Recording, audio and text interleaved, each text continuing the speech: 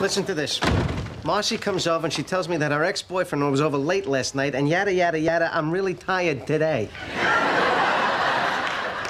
What do you think she was tired from? Well, obviously the yada, yada. You don't think she'd yada, yada sex?